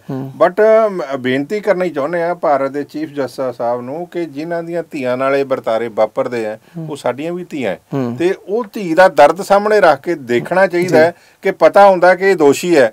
ਤੇ ਉਸ ਦੇ ਦੋਸ਼ ਨੂੰ ਲਮਕਾਉਣਾ ਨਹੀਂ ਚਾਹੀਦਾ। ਜਿਵੇਂ ਨਿਰਭਇਆ ਕਾਂਡ ਦੇ ਵਿੱਚ ਦੇਖ ਲਓ ਜਾਂ ਉਨਾਬ ਘਟਨਾ 'ਚ ਦੇਖ ਲਓ ਜੇ ਇਹਨਾਂ ਨੂੰ ਤੁਰੰਤ ਮਤਲਬ judiciary immediate fast track court ਦੇ ਅਧੀਨ ਇਹਨੂੰ ਸਜ਼ਾ ਦੇ ਦਿੰਦੀ, ਤਾਂ ਸ਼ਾਇਦ ਉਹ ਲੜਕੀ ਉਨਾਬ ਵਾਲੀ ਬਚ ਹਾਂ, ਤੁਸੀਂ ਉਨਾਵ ਵਾਲੀ ਗੱਲ ਕੀਤੀ ਹੈ। ਉਨਾਵ ਵਾਲੀ ਜਿਹੜੀ ਗੱਲ ਦੇ ਵਿੱਚ, ਕੇਸ ਦੇ ਵਿੱਚ ਵੀ ਇੱਕ ਵੱਡਾ ਜਿਹੜਾ ਫੈਸਲਾ ਲਿੱਤਾ ਗਿਆ ਆ। ਸੱਤ ਜਿਹੜੇ ਪੁਲਿਸ ਵਾਲੇ ਨੇ, ਉਹਨਾਂ ਨੂੰ ਸਸਪੈਂਡ ਕੀਤਾ ਗਿਆ। ਆਖਰੀ ਸਾਹਿਬ ਸਿਰਫ ਸਸਪੈਂਡ ਕਰਨਾ ਜਾਂ ਇਹ ਕਿੰਨਾ ਕੁ ਜਿਹੜਾ ਵਾਜਿਬ ਹੈਗਾ? ਕਿਉਂਕਿ ਜਿਹਦਾ ਇੱਕ ਪਰਿਵਾਰਕ ਹੋਇਆ ਜਾਂ ਪਤਾ ਹੈ ਵੀ ਇਹ ਬੰਦੇ ਬਾਹਰੋਂ ਇਹ ਜਿਹੇ ਮੁਜਰਮ ਨੇ ਛੁੱਟ ਕੇ ਆਏ ਨੇ। ਤਾਂ ਪੁਲਿਸ ਦੀ ਜ਼ਿੰਮੇਵਾਰੀ ਸੀ ਕੋਈ ਜ਼ਿੰਮੇਵਾਰੀ ਤੋਂ ਪੁਲਿਸ ਡਗਡਮਾਈਜ਼ ਕਰਕੇ ਸੱਤ ਜਣਿਆਂ ਨੂੰ ਸਸਪੈਂਡ ਵੀ ਕਰਤਾ। ਸਸਪੈਂਡ ਕਰਨਾ ਕਿੰਨਾ ਕੁ ਵਾਜਿਬ ਆ? ਦੇਖੋ ਪੁਲਿਸ ਮੁਲਾਜ਼ਮਾਂ ਦੀ ਸਸਪੈਂਸ਼ਨ ਕਰਨਾ ਤਾਂ ਆਲੂਆਂ ਦੇ ਉੱਤੋਂ ਮਿੱਟੀ ਉਤਾਰਨ ਵਾਲੀ ਗੱਲ ਹੁੰਦੀ ਹੈ। ਲੋਕਾਂ ਦੇ ਅੱਖੀ ਘੱਟਾ ਪਾਉਣ ਵਾਲੀ ਗੱਲ ਉਹਨਾਂ ਨੇ ਫਿਰ ਬਹਾਲ ਹੋ ਜਾਣਾ। ਬਹਾਲ ਹੋ ਜਾਣਾ ਜਾਂ ਇਹ ਲਾ ਲਓ ਰਾਜਨੀਤਿਕ ਛਤਰ ਛਾਇਆ ਥੱਲੇ ਹੀ ਉਹਨਾਂ ਨੂੰ ਸਸਪੈਂਡ ਕੀਤਾ ਗਿਆ ਤੇ ਰਾਜਨੀਤਿਕ ਛਤਰ ਛਾਇਆ ਨਾਲ ਹੀ ਉਹਨਾਂ ਨੂੰ ਬਹਾਲ ਕਰ ਦਿੱਤਾ ਜਾਣਾ। ਪਰ ਜਿਹੜੀ ਲੜਕੀ ਚਲੀ ਗਈ ਇਸ ਸਮਾਜ ਦੇ ਉੱਤੇ ਉਹ ਕਦੋਂ ਵਾਪਸ ਆਊਗੀ। ਤੇ ਉਹਦੇ ਭੈਣ ਦਾ ਜੋ ਦਰਦ ਜੋ ਉਹਨੇ ਲੜਕੀ ਨੂੰ ਜਦੋਂ ਦਫਨਾਇਆ ਗਿਆ ਉੱਥੇ ਜੋ ਉਹਨੇ ਕਿਹਾ ਕਿ ਜੇ ਇਸ ਤਰੀਕ ਤੱਕ ਮੇਰੀ ਭੈਣ ਦੇ ਦੋਸ਼ੀਆਂ ਨੂੰ ਸਜ਼ਾ ਨਾ ਦਿੱਤੀ ਗਈ ਤਾਂ ਮੈਂ ਸੂਬੇ ਦੇ ਮੁੱਖ ਮੰਤਰੀ ਦੀ ਕੋਠੀ ਅੱਗੇ ਜਾ ਕੇ ਆਤਮ ਹੱਤਿਆ ਕਰੂੰਗੀ। ਤੇ ਵੱਡੇ ਦਾ ਸਵਾਲ ਖੜੇ ਹੋ ਰਹੇ ਆ। ਤੇ ਜੇ ਮਤਲਬ ਆਪਣੇ ਇੱਕ ਇੱਕ ਇਨਸਾਫ ਲੈਣ ਲਈ ਵੀ ਆਪਣੀ ਜਾਨ ਦੀ ਗੱਲ ਕਰਨੀ ਪੜ ਰਹੀ ਅੱਜ ਕੱਲ ਇਹ ਹਲਾਲ ਭੈਣ ਨੇ ਸ਼ਰੇਆਮ ਬਿਆਨ ਦਿੱਤਾ ਪੁਲਿਸ ਦੀ ਹਾਜ਼ਰੀ 'ਚ ਦਿੱਤਾ ਤੇ ਵੱਡੇ ਇਕੱਠ 'ਚ ਉਹਨੇ ਗੱਲ ਕਹੀ ਹੈ ਕਿ ਜੇ ਇਸ ਡੇਟ ਤੱਕ ਉਹਨੇ ਡੇਟ ਵੀ ਕੋਡ ਕੀਤੀ ਹੈ ਕਿ ਇਸ ਡੇਟ ਤੱਕ ਜੇ ਮੇਰੀ ਭੈਣ ਦੇ ਦੋਸ਼ੀਆਂ ਨੂੰ ਸਜ਼ਾ ਨਾ ਦਿੱਤੀ ਗਈ ਉਹ ਵੀ ਮਿਸਾਲੀ ਸਜ਼ਾ। ਐਦਾਂ ਨਹੀਂ ਕਿ ਚੱਕ ਕੇ ਉਹਨਾਂ ਨੂੰ ਜੇਲ੍ਹ 'ਚ ਤੁੰਨ ਦਿਓ ਤੇ ਮੁੜ ਕੇ 5-4 ਸਾਲ ਬਾਅਦ ਫੇਰ ਬਾਹਰ ਆ ਜਾਣ। ਜੇ ਮਿਸਾਲੀ ਸਜ਼ਾ ਨਾ ਦਿੱਤੀ ਤਾਂ ਮੈਂ ਅਦਿੱਤਿਆ ਜੋਗੀ ਜੋ ਮੁੱਖ ਮੰਤਰੀ ਹੈ ਯੂਪੀ ਦਾ ਉਹਦੀ ਕੋਠੀ ਅੱਗੇ ਜਾ ਕੇ ਆਤਮ ਹੱਤਿਆ ਕਰੂੰਗੀ। ਤੇ ਇਹਦੇ ਨਾਲ ਹੀ ਜਿਹੜੀ ਆਪਾਂ ਹైదరాబాద్ ਦੀ ਗੱਲ ਦੀ ਜ਼ਿਕਰ ਕੀਤਾ ਪਹਿਲੇ ਉਹਦੇ 'ਚ ਹైదరాబాద్ ਦੇ ਮਾਮਲੇ ਵਿੱਚ ਤਾਂ ਕੋਰਟ ਨੇ ਕਾਫੀ ਵੱਡਾ ਐਕਸ਼ਨ ਲੈ ਲਿਆ। ਜੁਡੀਸ਼ੀਅਲ ਉਹਦੀ ਇਨਕੁਆਇਰੀ ਸ਼ੁਰੂ ਹੋ ਗਈ। ਤੇ ਹੁਣ ਜਿਹੜੇ ਪੁਲਿਸ ਕਮਿਸ਼ਨ ਨੂੰ ਸਿੰਘਮ ਦਾ ਦਰਜਾ ਦਿੱਤਾ ਜਾ ਰਿਹਾ। ਉਹਦੀਆਂ ਵੀ ਤਾਂ ਪਰਤਾਂ ਖੁੱਲਣਗੀਆਂ ਹੁਣ। ਕਈ ਲੋਕਾਂ ਨੇ ਇਹਦੀ ਵਿਰੋਧਤਾ ਕੀਤੀ ਹੈ ਕਈ ਇਹਦੇ ਹੱਕ 'ਚ ਹੈ। ਲੇਕਿਨ ਜਿੱਥੇ ਤੱਕ ਕਾਨੂੰਨ ਦੀ ਵਿਵਸਥਾ ਦੀ ਗੱਲ ਹੈ ਕਾਨੂੰਨ ਮੁਤਾਬਕ ਕੋਈ ਬੰਦਾ ਇਹਨੂੰ ਮੰਨਣ ਨੂੰ ਤਿਆਰ ਨਹੀਂ ਕਿ ਇਹ ਐਨਕਾਊਂਟਰ ਸਹੀ ਸੀ। ਉਹ ਸਾਰੇ ਕਹਿੰਦੇ ਕਿ ਪੁਲਿਸ ਵੱਲੋਂ ਮਾਰ ਦਿੱਤੇ ਗਏ ਆ। ਮਾਰੇ ਜਾਇਜ਼ ਜਾਂ ਨਜਾਇਜ਼ ਆਉਣ ਵਾਲਾ ਸਮਾਂ ਦੱਸੂ। ਲੇਕਿਨ ਲੋਕਾਂ ਦੀ ਭਾਵਨਾ ਇਸ ਨਾਲ ਜੁੜੀ ਸੀ ਕਿ ਦੋਸ਼ੀਆਂ ਨੂੰ ਤੁਰੰਤ ਸਜ਼ਾ ਮਿਲਣੀ ਚਾਹੀਦੀ ਹੈ। ਜੋ ਪੁਲਿਸ ਨੇ ਦਿੱਤੀ ਹੈ ਉਹ ਤੇ ਐਪਰੀਸ਼ੀਏਟ ਵੀ ਕੀਤਾ ਲੋਕਾਂ ਨੇ। 4 ਲੱਖ ਤੋਂ ਵੱਧ ਲੋਕਾਂ ਨੇ ਟਵੀਟ ਕਰਕੇ ਤੇਲੰਗਾਨਾ ਪੁਲਿਸ ਨੂੰ ਵਧਾਈ ਵੀ ਦਿੱਤੀ। ਪਰ ਲੋਕਾਂ ਦੇ ਜ਼ਿਹਨ ਦੇ ਵਿੱਚ ਦਰਦ ਤੇ ਉਹ ਮਤਲਬ ਕਹਿਰ ਦਾ ਜਿਹੜਾ ਸ਼ਬਦ ਲੁਕਿਆ ਹੋਇਆ ਸੀ ਉਹ ਉਜਾਗਰ ਹੋ ਗਿਆ। ਤੇ ਲੇਕਿਨ ਜੋ ਪੁਲਿਸ ਵਾਲਿਆਂ ਨੇ ਕੀਤਾ ਜਾਂ। ਕਮਿਸ਼ਨਰ ਨੇ ਕੀਤਾ। ਕਾਨੂੰਨ ਉਹਨੂੰ ਮਾਨਤਾ ਦਿੰਦਾ ਕਿ ਨਹੀਂ ਦਿੱਤਾ ਇਹ ਤਾਂ ਆਉਣ ਵਾਲਾ ਸਮਾਂ ਦੱਸੇਗਾ ਕਿ ਜੁਡੀਸ਼ੀਅਲ ਜਿਹੜੀ ਉਹਦੀ ਇਨਕੁਆਇਰੀ ਇਨਕੁਆਇਰੀ ਮਾਰਕ ਹੋ ਚੁੱਕੀ ਹੈ ਬਿਲਕੁਲ ਅਕਰ ਸਾਹਿਬ ਪਰ ਇੱਕ ਗੱਲ ਦਾ ਜਿਹੜਾ ਹਮੇਸ਼ਾ ਹੀ ਖਾਮਿਆਜ਼ਾ ਰਹਿੰਦਾ ਜਾਂ ਦੁੱਖ ਰਹਿੰਦਾ ਆ ਕਿ ਨਿਆਂ ਜਿਹੜਾ ਬੜਾ ਢਿੱਲਾ ਚੱਲਦਾ ਆ ਹਮੇਸ਼ਾ ਹੀ ਕਈ ਵਾਰ ਇਹ ਹੁੰਦਾ ਕਿ ਜਦ ਫੈਸਲਾ ਆਉਂਦਾ ਤਾਂ ਲੋਕ ਮਰ ਚੁੱਕੇ ਹੁੰਦੇ ਨੇ ਜਦ ਜਾ ਕੇ ਉਹਨਾਂ ਦੇ ਹੱਕ ਜਿਹੜੇ ਫੈਸਲਾ ਜਾਂ ਬਹੁਤ ਸਾਰੇ ਆਪਣੀ ਜ਼ਿੰਦਗੀ ਬਰਬਾਦ ਕਰ ਚੁੱਕੇ ਹੁੰਦੇ ਨੇ ਸੋ ਅਕਰ ਸਾਹਿਬ ਆਪਾਂ ਆਪਣੇ ਅਗਲੇ ਮੁੱਦੇ ਵੱਲੋਂ ਵਧਦੇ ਹਾਂ ਜਿਹੜਾ ਕਿ ਕੈਪਟਨ ਅਮਰਿੰਦਰ ਸਿੰਘ ਹੋਣਾ ਨਾਲ ਜੁੜਿਆ ਹੋਇਆ, ਕਿਉਂਕਿ ਪੰਜਾਬ ਦੇ ਵਿੱਚ ਆਪਾਂ ਆਪਣੇ ਇੱਕ ਐਪੀਸੋਡ 'ਚ ਗੱਲ ਕੀਤੀ ਸੀ ਕਿ ਵੱਖ-ਵੱਖ ਰਾਜਨੇਤਾਵਾਂ ਨਾਲ ਜਾਂ ਵੱਖ ਰਾਜ ਸ਼ਖਸੀਅਤਾਂ ਨਾਲ, ਨੇਤਾਵਾਂ ਦੀ ਵੱਡੇ ਸ਼ਖਸੀਅਤਾਂ ਨਾਲ ਐਸੇ ਗੈਂਗਸਟਰਾਂ ਦੇ ਨਾਮ ਜੁੜਦੇ ਨੇ ਜਿਹੜੇ ਕਿ ਉਹ ਸਮੇਂ ਦੇ ਰਹਿੰਦੇ ਹੋਏ ਕੰਮ ਕਰਦੇ ਨੇ ਜਾਂ ਉਹਨਾਂ ਲਈ ਵਰਤੇ ਜਾਂਦੇ ਨੇ। ਆਪਾਂ ਗੱਲ ਇਹ ਵੀ ਕੀਤੀ ਸੀ ਵੀ ਵੱਖ-ਵੱਖ ਗੈਂਗਸਟਰ ਵੱਖ-ਵੱਖ ਪਾਰਟੀਆਂ ਨਾਲ ਵੀ ਜੁੜੇ ਹੋਏ ਨੇ। ਉਸ ਨੂੰ ਲੈ ਕੇ ਜਾਂ ਉਹ ਖਬਰਾਂ ਨੂੰ ਲੈ ਕੇ, ਮੀਡੀਆ ਦੀ ਖਬਰਾਂ ਨੂੰ ਲੈ ਕੇ ਕੈਪਟਨ ਅਮਰਿੰਦਰ ਸਿੰਘ ਹੋਣਾ ਨੇ ਇੱਕ ਵੱਡਾ ਬਿਆਨ ਦਿੱਤਾ ਆ ਕਿ ਇਸ ਦੀ ਤਫਤੀਸ਼ ਕੀਤੀ ਜਾਊਗੀ ਕਿ ਕਿਹੜੇ ਗੈਂਗਸਟਰ ਦਾ ਨਾਂ ਕਿਹੜੇ ਰਾਜਨੇਤਾ ਨਾਲ ਜੁੜ ਕੇ ਆਉਂਦਾ ਹੈ ਤੇ ਕਿਉਂ ਆਉਂਦਾ ਹੈ। ਬਿਲਕੁਲ ਠੀਕ ਹੈ ਜਸਪ੍ਰੀਤ ਜੀ ਕਿਉਂਕਿ ਇਹ ਵੱਡਾ ਇਸ਼ੂ ਪੰਜਾਬ 'ਚ ਅੱਜ ਕੱਲ ਚਰਚਾ ਦਾ ਵਿਸ਼ਾ ਬਣਿਆ ਹੋਇਆ ਹੈ। ਕਿਉਂਕਿ ਕੈਪਟਨ ਅਮਰਿੰਦਰ ਸਿੰਘ ਦੀ ਵਜ਼ਾਰਤ ਦੇ ਜੇਲ੍ਹ ਮੰਤਰੀ ਸੁਖਜਿੰਦਰ ਸਿੰਘ ਰੰਧਾਵਾ ਉੱਤੇ ਬਹੁਤ ਵੱਡੇ ਦੋਸ਼ ਜਿਹੜੇ ਆ ਢਿਲਮਾ ਕਾਂਡ ਤੋਂ ਬਾਅਦ ਸ਼੍ਰੋਮਣੀ ਅਕਾਲੀ ਦਲ ਦੇ ਵੱਡੇ ਆਗੂ ਵਿਕਰਮ ਮਜੀਠੀਆ ਨੇ ਲਾਇਆ ਹੈ। ਉਹਨੇ ਬਕਾਇਦਾ ਕੋਡ ਕੀਤਾ ਹੈ ਕਿ ਜੱਗੂ ਭਗਵਾਨਪ੍ਰੀਆ ਤੇ ਉਹਦੇ ਦੋਸਤਾਂ ਨਾਲ ਜਿਹੜਾ ਸੁਖੀ ਰੰਧਾਵੇ ਦਾ ਬੜਾ ਨੇੜੇ ਦਾ ਗੱਠਜੋੜ ਹੈ। ਉਹ ਗੱਲਾਂ ਦੇ ਉੱਤੇ ਬਹੁਤ ਵੱਡੀ ਐਜੀਟੇਸ਼ਨ ਵੀ ਚੱਲ ਰਹੀ ਹੈ ਤੇ ਬਹੁਤ ਵੱਡਾ ਵਿਰੋਧ ਵੀ ਹੋ ਰਿਹਾ ਹੈ। ਲੇਕਿਨ ਸੂਬੇ ਦੇ ਮੁੱਖ ਮੰਤਰੀ ਵੱਲੋਂ ਇਹ ਫੈਸਲਾ ਲਿਆ ਜਾਣਾ ਮੈਂ ਕਹਿੰਦਾ ਚੰਗੀ ਗੱਲ ਹੈ। ਹੋਣਾ ਚਾਹੀਦਾ ਇੱਕ ਸੂਬੇ ਦਾ ਮੁੱਖ ਮੰਤਰੀ ਨੂੰ ਇਹ ਗੱਲ ਕਹਿਣੀ ਬਣਦੀ ਹੈ। ਔਰ ਇਹਦੇ ਵਿੱਚ ਬਿਲਕੁਲ ਨਿਰਪੱਖ ਹੋ ਕੇ ਜਿਹੜੇ ਵੀ ਪੋਲੀਟੀਕਲ ਲੋਕਾਂ ਦੇ ਜਿਹੜੇ ਤਾਰਾਂ ਇਹ ਬੈਡ ਕਿਸਮ ਦੇ ਲੋਕਾਂ ਨਾਲ ਜੁੜੀਆਂ ਹੋਈਆਂ ਉਹ ਭਾਵੇਂ ਗੈਂਗਸਟਰ ਹੋਣ ਭਾਵੇਂ ਉਹ ਡਰੱਗ ਮਾਫੀਆ ਨਾਲ ਸੰਬੰਧਿਤ ਹੋਣ ਜਿਹੜੇ ਸਾਡੇ ਸਮਾਜ ਨੂੰ ਖੋਖਲਾ ਕਰ ਰਹੇ ਆ। ਸਮਾਜ ਦੇ ਉੱਤੇ ਕਿੰਤੂ ਬਣ ਰਹੇ ਆ। ਉਹਨਾਂ ਲੋਕਾਂ ਦੀ ਨਿਸ਼ਾਨਦੇਹੀ ਕਰਕੇ ਉਹਨਾਂ ਤੇ ਵੀ ਬਣਦੇ ਮੁਕੱਦਮੇ ਦਰਜ ਹੋਣੇ ਚਾਹੀਦੇ ਉਹ ਕਿਸੇ ਪੋਲੀਟੀਕਲ ਪਾਰਟੀ ਨਾਲ। ਸੰਬੰਧਿਤ। ਪਰ ਮੈਰਿਟ ਤੇ ਹੋਣਾ ਚਾਹੀਦਾ। ਐਵੇਂ ਨਹੀਂ ਕਿਸੇ ਦਿੱਤੇ ਝੂਠੇ ਬਿਆਨ ਦੇ ਉੱਤੇ ਹੀ ਮੁਕੱਦਮੇ ਦਰਜ ਕਰੀ ਜਾਓ ਕਿਉਂਕਿ ਪੁਲਿਸ ਕੋਲੇ ਜਦੋਂ ਇਦਾਂ ਦੇ ਅਧਿਕਾਰ ਹੁੰਦੇ ਆ ਉਦੋਂ ਫਿਰ ਜਿਵੇਂ ਕਹਿੰਦੇ ਨਾ ਸੁੱਕੀ ਦੇ ਨਾਲ ਗਿੱਲੀ ਵੀ ਜਲਦੀ ਹੈ ਉਹ ਫਿਰ। ਲੋਕ ਜਾਤੀ ਜਿਹੜੀਆਂ ਦੁਸ਼ਮਣੀਆਂ ਕੱਢਣ ਲਈ ਵੀ ਪੁੱਠੇ ਸਿੱਧੇ ਰਾਹਾਂ ਤੋਂ ਐਪਲੀਕੇਸ਼ਨ ਪਵਾ ਦਿੰਦੇ ਆ ਕਿ ਇਹ ਬੰਦੇ ਦੇ ਫਲਾਣੇ ਗਰੁੱਪ ਨਾਲ ਸੰਬੰਧ ਸੀ।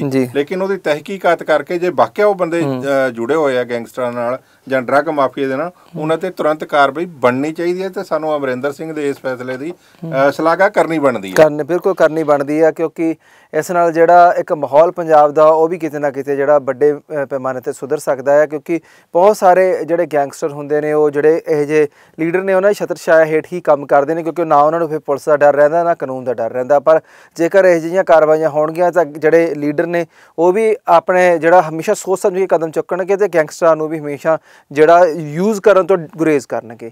ਸੋ ਆਪਾਂ ਹੁਣ ਆਪਣੇ ਅਗਲੇ ਮੁੱਦੇ ਦੀ ਗੱਲ ਕਰਦੇ ਹਾਂ। ਉਹ ਹੈਗਾ ਜੀ 1984 ਕਤਲੇਆਮ ਨਾਲ ਜੁੜਿਆ ਹੈ 1984 ਕਤਲੇਆਮ ਨੂੰ ਲੈ ਕੇ ਖੁਦ ਦਿੱਲੀ ਗੁਰਦੁਆਰਾ ਪ੍ਰਬੰਧਕ ਕਮੇਟੀ ਵੱਲੋਂ ਇੱਕ ਅਹਿਮ ਕਦਮ ਚੁੱਕਿਆ ਗਿਆ ਆ। ਉਹਨਾਂ ਦੇ ਪਰਿਵਾਰਾਂ ਨੂੰ ਲੈ ਕੇ, ਪੀੜਤਾਂ ਦੇ ਪਰਿਵਾਰਾਂ ਨੂੰ ਲੈ ਕੇ ਅਹਿਮ ਕਦਮ ਚੁੱਕਿਆ ਗਿਆ ਆ। ਉਹਨਾਂ ਲਈ ਇੱਕ ਰੋਜ਼ਗਾਰ ਲਿਆਂਦਾ ਗਿਆ ਆ ਤਾਂ ਜੋ ਉਹ ਖੁਦ ਸਟੈਂਡ ਹੋ ਸਕਣ। ਆਖਿਰ ਸਾਹਿਬ, ਕਿਵੇਂ ਦੇਖਦੇ ਨੇ ਰੋਜ਼ਗਾਰ ਜਿਹੜਾ ਲਿਆਂਦਾ ਗਿਆ ਗੁਰਦੁਆਰਾ ਸਾਹਿਬ ਦੇ ਅੰਦਰ ਵੱਖ-ਵੱਖ ਜਿਹੜੀਆਂ ਦੁਕਾਨਾਂ ਜਾਂ ਸੰਸਥਾਵਾਂ ਬਣਾ ਕੇ? ਬਿਲਕੁਲ ਠੀਕ ਹੈ ਜੀ। ਦਿੱਲੀ ਸਿੱਖ ਗੁਰਦੁਆਰਾ ਮੈਨੇਜਮੈਂਟ ਕਮੇਟੀ ਹਮੇਸ਼ਾ ਤਤਪਰ ਰਹਿੰਦੀ ਹੈ ਸਿੱਖ ਮੁੱਦਿਆਂ ਨੂੰ ਚੱਕਣ ਦੇ ਲਈ। ਪਹਿਲਾਂ ਬੇਸ਼ੱਕ ਗੁਰਦੁਆਰਾ ਬੰਗਲਾ ਸਾਹਿਬ ਦੇ ਵਿੱਚ ਬਹੁਤ ਵੱਡਾ ਹਿਸਟੋਰੀਕਲ ਜਿਹੜਾ ਮਨਜੀਤ ਸਿੰਘ ਜੀ ਕੇ। ਉਹ ਪ੍ਰਧਾਨ ਸੀ ਉਹਨਾਂ ਨੇ। ਸੱਚ ਦੀ ਦੀਵਾਰ ਖੜੀ ਕੀਤੀ। ਉਥੇ ਉਹਨਾਂ ਜਿਹੜੇ ਨਸ਼ਲਕੁਸ਼ੀ ਦੇ ਦੌਰ 'ਚ ਮਾਰੇ ਗਏ ਸਿੱਖਾਂ ਦੀਆਂ ਬੱਚਿਆਂ ਦੀਆਂ ਔਰਤਾਂ ਦੇ ਨਾਂ ਉਕਰੇ ਗਏ। ਉਹ ਜਦੋਂ ਤੱਕ ਗੁਰਦੁਆਰਾ ਪ੍ਰਬੰਧ ਰਹੂਗਾ ਉਹ ਦੀਵਾਰ ਉੱਥੇ ਖੜੀ ਰਹੂਗੀ। ਜਿਹੜੇ ਵੀ ਸ਼ਰਧਾਲੂ ਉੱਥੇ ਜਾਣਗੇ ਉਹ ਸੱਚ ਦੀ ਦੀਵਾਰ ਨੂੰ ਜ਼ਰੂਰ ਪੜ੍ਹਨਗੇ ਕਿ ਦਿੱਲੀ ਦੇ ਵਿੱਚ ਸਿੱਖਾਂ ਨਾਲ ਹੋਇਆ ਕੀ ਸੀ। ਔਰ ਹੁਣ ਜਿਹੜਾ ਮਨਜੀਤ ਸਿੰਘ ਜੀਕੇ ਤੋਂ ਬਾਅਦ ਮਨਜਿੰਦਰ ਸਿੰਘ ਸਿਰਸਾ ਨੇ ਕਮਾਂਡ ਸੰਭਾਲੀ ਆ ਉਹ ਵੀ ਉਸੇ ਪੈਟਰਨ ਤੇ ਕੰਮ ਕਰ ਰਿਹਾ ਹੈ। ਉਹਨਾਂ ਨੇ 1984 ਦੇ ਜੋ ਅਸੀਂ ਦੰਗਾ ਪੀੜਤਾਂ ਨੇ ਨਸਲਕੁਸ਼ੀ ਦੇ ਜਿਹੜੇ ਲੋਕ ਮਤਲਬ ਪੀੜਤ ਹੈ ਉਹਨਾਂ ਲਈ ਇੱਕ ਵੱਡਾ ਰੋਜ਼ਗਾਰ ਦਾ ਜਿਹੜਾ ਜਰੀਆ ਮੁਹੱਈਆ ਕੀਤਾ ਹੈ। ਵੱਖ-ਵੱਖ ਗੁਰਦੁਆਰਾ ਸਾਹਿਬਾਨਾਂ ਦੇ ਵਿੱਚ 1984 ਅ, ਦਾ ਨਾਂ ਦਿੱਤਾ ਗਿਆ ਉਹਨੂੰ ਸਟੋਰ। ਜਨਰਲ ਸਟੋਰ ਜਿਹੜੇ ਉਹ ਖੁੱਲਣੇ ਆ ਵੱਡੇ ਵੱਡੇ ਸਟੋਰ ਖੁੱਲਣੇ ਆ। ਤੇ ਉਹ ਸਾਰੇ ਗੁਰਦੁਆਰਾ ਸਾਹਿਬਾਨ ਦੀ ਥਾਵਾਂ ਦੇ ਉੱਤੇ ਵੱਡੇ ਸਟੋਰ ਖੋਲ ਕੇ ਔਰ ਪ੍ਰਬੰਧ ਵੀ ਉਹ ਜਿਹੜੇ ਸਿੱਖਾਂ ਨਾਲ ਅਨਿਆਂ ਹੋਇਆ 1984 ਦੇ ਵਿੱਚ ਉਹਨਾਂ ਲੋਕਾਂ ਨੂੰ ਹੀ ਸਪੁਰਦ ਕਰੇਗੀ ਦਿੱਲੀ ਸਿੱਖ ਗੁਰਦੁਆਰਾ ਮੈਨੇਜਮੈਂਟ ਕਮੇਟੀ। ਔਰ ਸਿਰਸਾ ਦਾ ਇਹ ਵੀ ਬਿਆਨ ਆਇਆ ਹੈ ਕਿ ਇਹਨਾਂ ਚੋਂ ਜੋ ਵੀ ਲਾਭ ਹੋਏਗਾ ਜੋ ਵੀ ਮੁਨਾਫਾ ਹੋਏਗਾ ਉਹ ਉਸੇ ਸੁਸਾਇਟੀ ਨੂੰ ਜਾਏਗਾ ਜਿਹੜੇ ਇਸ ਦਾ ਮਨੇਦ ਕਰਨਗੇ। ਜੋ ਇਸ ਨੂੰ ਜੀ, ਤੇ। ਸ਼੍ਰੋਮਣੀ ਕਮੇਟੀ ਬਿਨਾਂ ਕਿਸੇ ਤੋਂ ਪੈਸੇ ਲਿਆ ਇਹਦਾ ਪ੍ਰਬੰਧ ਕਰਕੇ ਦੇਗੀ ਸਿੱਖਾਂ ਨੂੰ ਕਿ ਉਹ ਆਪਣੇ ਪੈਰਾਂ ਤੇ ਦੁਬਾਰਾ ਖੜੇ ਹੋ ਬਹੁਤ ਬਹੁਤ ਸ਼ਲਾਘਾਯੋਗ ਜਿਹੜਾ ਕਦਮ ਹੈ ਇਸ ਨਾਲ ਜਿਹੜਾ ਬਹੁਤ ਸਾਰੇ ਲੋਕਾਂ ਨੂੰ ਰਾਹਤ ਜ਼ਰੂਰ ਮਿਲੇਗੀ। ਸੋ ਆਪਾਂ ਗੱਲ ਕਰ ਲੈਂਦੇ ਹਾਂ ਹੁਣ ਅਕਾਲੀ ਦਲ ਨੂੰ ਲੈ ਕੇ ਕਿਉਂਕਿ ਸਮਾਂ ਸਾਡੇ ਕੋਲ ਜ਼ਿਆਦਾ ਨਹੀਂ ਹੈਗਾ। ਅਕਾਲੀ ਦਲ ਨੂੰ ਲੈ ਕੇ ਗੱਲ ਕਰਨੀ ਬਣਦੀ ਵੀ ਹੈਗੀ ਆ ਕਿਉਂਕਿ ਅਕਾਲੀ ਦਲ ਲੰਬੇ ਸਮੇਂ ਤੋਂ ਜਿਹੜਾ ਚੱਲਦਾ ਆ ਰਿਹਾ ਪਰ ਕੁਝ ਇਸ ਤੋਂ ਟਕਸਾਲੀ ਆਗੂ ਕਹੀਏ ਜਾਂ ਹੋਰ ਐਸੇ ਅਕਾਲੀ ਦਲ ਦੇ ਕੁਝ ਵਰਕਰ ਜਿਹੜੇ ਟੁੱਟ ਚੁੱਕੇ ਨੇ ਅਲੱਗ ਹੋ ਚੁੱਕੇ ਨੇ। ਹੁਣ ਉਹ ਅਲੱਗ ਤੋਂ ਆਪਣੀ ਪੂਰੀ ਮੈਨੇਜਮੈਂਟ ਕਰਨਾ ਚਾਹੁੰਦੇ ਨੇ ਤੇ ਅਲੱਗ ਤੋਂ ਇਸ ਦੇ ਜਸ਼ਨ ਵੀ ਮਨਾਉਣਾ ਚਾਹੁੰਦੇ ਨੇ ਯਾਨੀ ਕਿ ਸਥਾਪਨਾ ਦਿਵਸ ਵੀ ਮਨਾਉਣਾ ਚਾਹੁੰਦੇ ਆ ਅਕਾਲੀ ਦਲ ਦਾ ਇੱਕ ਪਾਸੇ ਅਕਾਲੀ ਦਲ ਜੋ ਮੌਜੂਦਾ ਅਕਾਲੀ ਦਲ ਬਾਦਲ ਆ ਉਹ ਹੋ ਗਈ ਦੂਜੇ ਪਾਸੇ ਉਹ ਟੁੱਟੇ ਹੋਏ ਅਕਾਲੀ ਨੇ ਜਿਹੜੇ ਕਿ ਆਪਣੇ ਆਪ ਨੂੰ ਟਕਸਾਲੀ ਅਕਾਲੀ ਜਾਂ ਬਹੁਤ ਸਾਰੇ ਐਸੇ ਅਕਾਲੀ ਕਹਿੰਦੇ ਜੋ ਇਹਨਾਂ ਤੋਂ ਟੁੱਟ ਚੁੱਕੇ ਆ ਪਾਰਟੀ ਤੋਂ ਉਹ ਵੀ ਸਥਾਪਨਾ ਦਿਵਸ ਮਨਾਉਣ ਲਈ ਤਿਆਰੀ ਚ ਨੇ ਤੇ ਇਹ ਵੀ ਆ। ਤੁਹਾਨੂੰ ਲੱਗਦਾ ਵੀ ਉਹ ਪੁਰਾਣੇ ਅਕਾਲੀ ਨੇ ਜਿਹੜੇ ਜਾਂ ਟਕਸਾਲੀ ਜਿਹੜੇ ਆਪਣੇ ਕਹਿੰਦੇ ਆ, ਉਹ ਕਿਤੇ ਨਾ ਕਿਤੇ ਢਾਲ ਲਾ ਸਕਦੇ ਆ? ਜੀ ਬਿਲਕੁਲ ਠੀਕ ਹੈ। ਜਿਹੜਾ ਮੁੱਦਾ ਤੁਸੀਂ ਚੱਕ ਰਹੇ ਹੋ ਮੇਰਾ ਖਿਆਲ ਹੈ ਸਾ ਸੁਖਦੇਵ ਸਿੰਘ ਢੀਂਡਸਾ ਦੀ ਕੋਠੀ ਤੇ ਹੋਈ ਮੀਟਿੰਗ ਜਿਹਦੇ ਵਿੱਚ ਟਕਸਾਲੀ ਅਕਾਲੀ ਦਲ ਦੇ ਪ੍ਰਧਾਨ ਰਣਜੀਤ ਸਿੰਘ ਬ੍ਰਹਮਪੁਰਾ 1920 ਅਕਾਲੀ ਦਲ ਦੇ ਪ੍ਰਧਾਨ ਰਵਿੰਦਰ ਸਿੰਘ ਸਮੇਤ ਹੋਰ ਜਿਹੜੇ ਉਹਨਾਂ ਦੇ ਨਾਲ ਸਹਿਯੋਗੀ ਸੱਜਣ ਸੀ ਉਹਨਾਂ ਦੀ ਮੀਟਿੰਗ ਢੀਂਡਸਾ ਸਾਹਿਬ ਦੀ ਕੋਠੀ ਹੋਈ ਚੰਡੀਗੜ੍ਹ।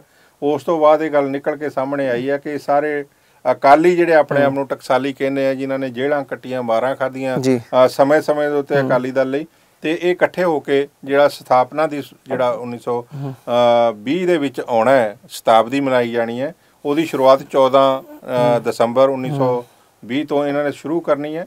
ਤੇ ਉਥੋਂ ਬਾਅਦ ਇੱਕ ਸਾਲ ਇਹ ਪ੍ਰੋਗਰਾਮ ਚੱਲਣੇ ਆ ਅਕਾਲੀ ਦਲ ਦੇ।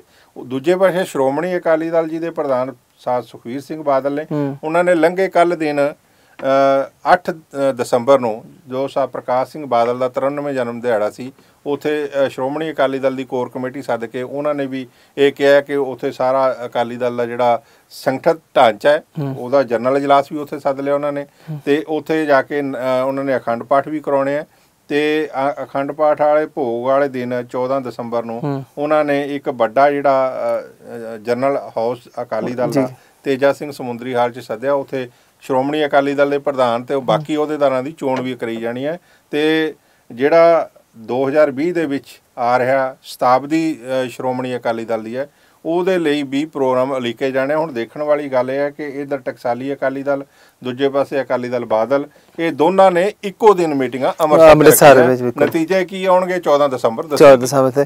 ਸੋ ਜਾਂਦੇ ਜਾਂਦੇ ਇੱਕ ਵੱਡੀ ਖਬਰ ਉੱਤੇ ਨਜ਼ਰ ਮਾਰ ਲੈਂਦੇ ਆ ਉਹ ਹੈ ਪ੍ਰਧਾਨ ਮੰਤਰੀ ਨਰਿੰਦਰ ਮੋਦੀ ਨਾਲ ਜੁੜੀ ਹੋਈ। ਨਰਿੰਦਰ ਮੋਦੀ ਜਿਹੜੇ ਦੁਨੀਆ ਦੇ ਸਭ ਤੋਂ ਪਾਵਰਫੁਲ ਪ੍ਰਧਾਨ ਮੰਤਰੀ ਬਣ ਚੁੱਕੇ ਨੇ। ਇੱਕ ਸਰਵੇ ਹੋਇਆ। ਸਰਵੇ ਦੇ ਮੁਤਾਬਕ ਨਰਿੰਦਰ ਮੋਦੀ ਨੂੰ ਪਹਿਲਾ ਸਥਾਨ ਮਿਲਿਆ ਜਦਕਿ ਪੁਤਿਨ ਨੂੰ ਦੂਜਾ ਸਥਾਨ ਮਿਲਿਆ। ਇੱਥੋਂ ਡੋਨਲਡ ਟਰੰਪ ਜਿਹੜੇ ਦੋਨਾਂ ਤੋਂ ਪਿਛੜਦੇ ਨਜ਼ਰ ਆਏ ਨੇ।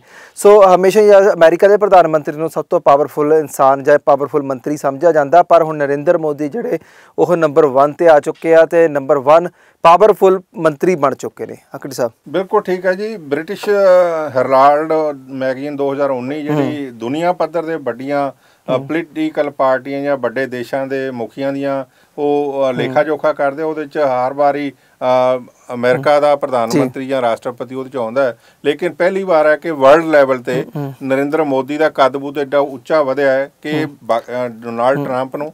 ਤੇ ਵਲਾਦੀਮੀਰ ਪੁਤਿਨ ਨੂੰ ਵੀ ਪਛਾੜਦੇ ਹੋਏ ਇਹਨਾਂ ਨੂੰ 31% ਜਿਹੜਾ ਉਹ ਸਰਵੇ ਮੁਤਾਬਕ ਗਿਆ ਤੇ ਵਲਾਦੀਮੀਰ ਪੁਤਿਨ ਨੂੰ 29% ਗਿਆ। ਉਹ ਦੂਜੇ ਸਥਾਨ ਤੇ ਆਏ ਆ ਵਰਲਡ ਲੈਵਲ ਤੇ ਤੇ ਨਰਿੰਦਰ ਮੋਦੀ ਪਹਿਲੇ ਸਥਾਨ ਤੇ ਆਏ ਆ।